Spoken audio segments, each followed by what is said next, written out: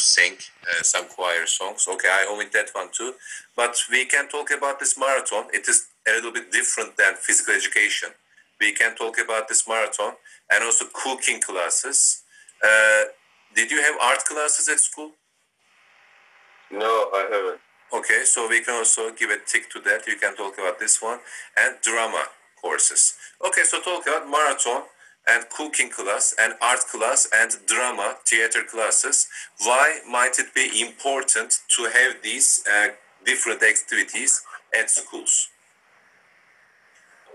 For me, uh, the people does uh, the people don't just came to the world uh, like may, make some math problems or uh, some physics uh, or biology test. Uh, like some kind of people good at running or some kind of people good at uh, making drama. So uh, with these activities, uh, we can find uh, ourselves like which we are good at it. Yes, we can discover maybe our skills. We can even uh, discover how can we be professional. Right. So if the person runs good, maybe he or she is going to be a good runner. So she, he or she can discover that, and the physical education teacher can help to have a license, a sport license, or cooking.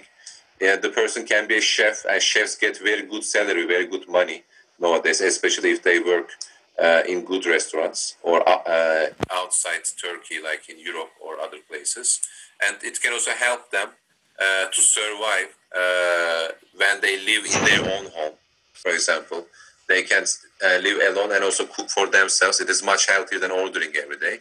And art, again, if the person discovers the skill, he can get professional, or at least he can just have a good uh, free time activity and drama drama is also good about uh, normal life too uh, it gives you a posture you know posture means the way you stand the way you look and you will stand better and you will have a better physical shape you will have a better voice and you can use your voice better in your job. So they are good for such things right? Yes. so anything else you want to say? And when you do drama, it's cultural things.